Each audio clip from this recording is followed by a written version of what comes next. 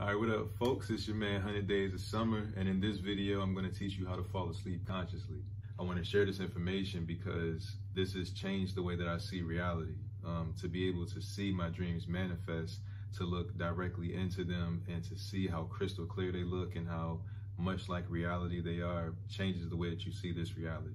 The first thing that you have to understand how to do is to put the body to sleep consciously and to keep your mind awake. The way that that's done is by understanding a certain type of breathing and a certain type of way to um, understanding what daydreaming is basically. So the first thing that you have to do is do a thing called gravity breathing, which is the way that you exhale naturally at night. Uh, the body is relaxed, everything is kind of paralyzed, and gravity pushes the air out. You inhale, but then gravity pushes the air out. So the way that you would simulate that is by taking a deep inhale, like you're letting it out like that, like you, it's your last breath, like that, kind of, right? So as you do that, you feel relaxation wash over your whole body.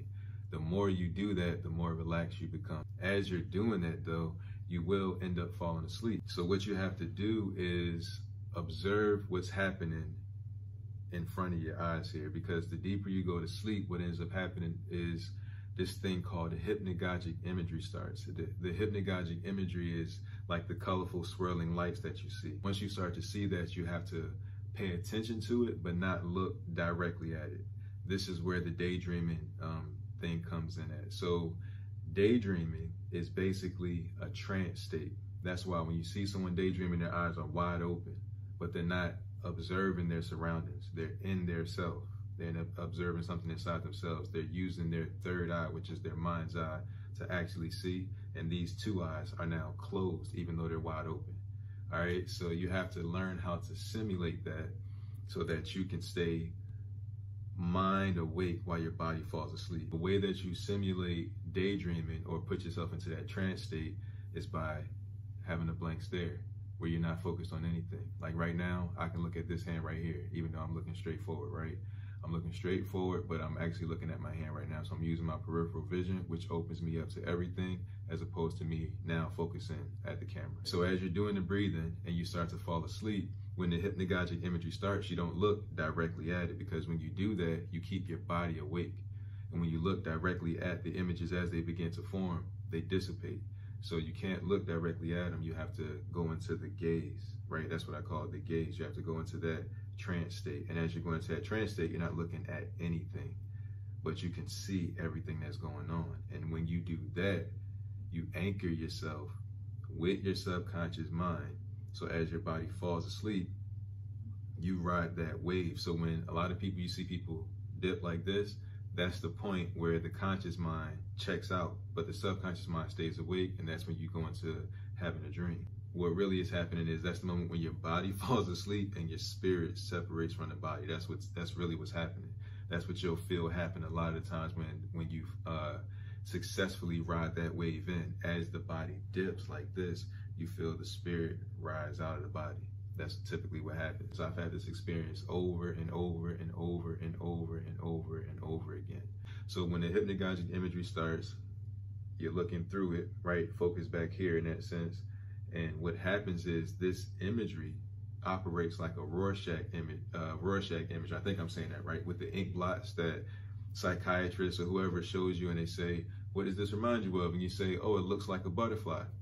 It that's what the hypnagogic imagery does. It moves and swirls until the subconscious mind sees a shape that reminds it of something that it can emulate and turn into a picture.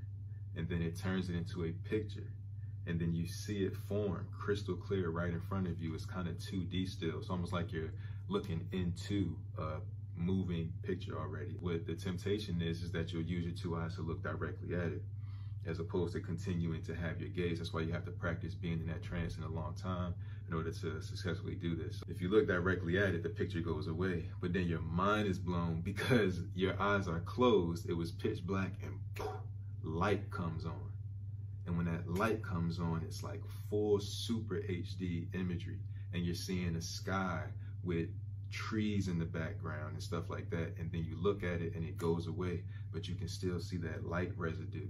You can still see the image in light in front of you. The same way as if you looked at the sun and looked away and closed your eyes, you would see that sunspot. It's still there.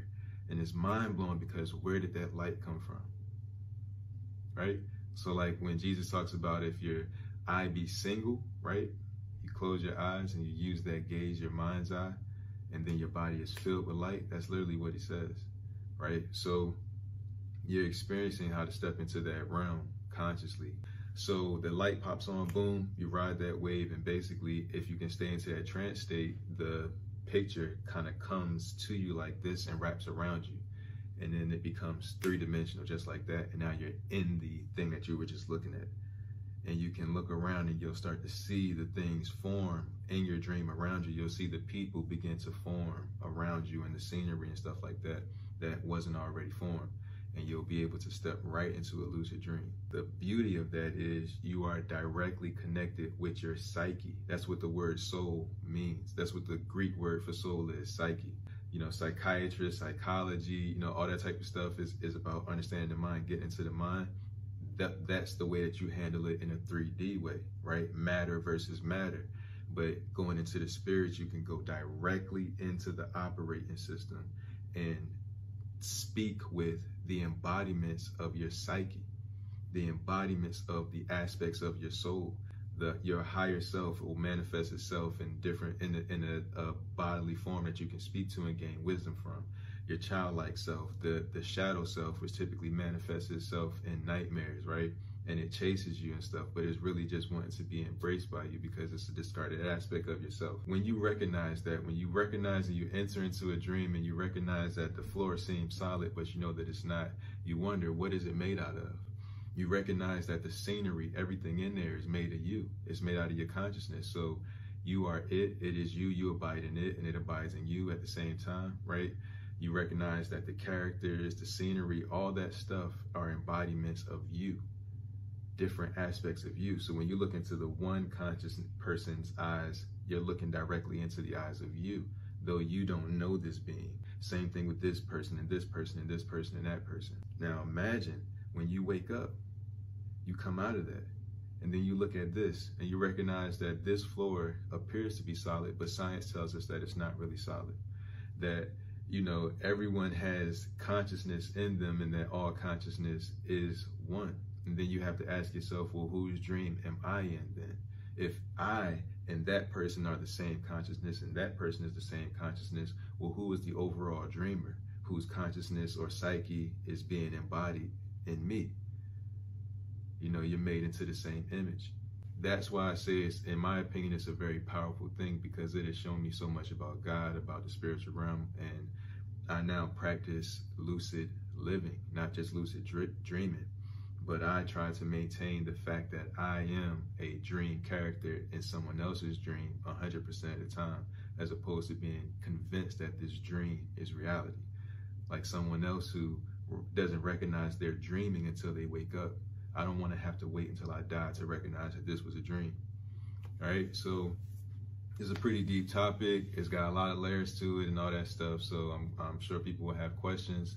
Um, ask them in the comments and I'll try my best to answer them. Some things might be too deep for me to type a long, drawn out uh, paragraph about. I might just make another video about it. All right, but I look forward to talking with y'all about it and I really look forward to hearing y'all success stories of doing this and what you see and what you experience. All right, I'll talk to y'all more about this in another video. Peace.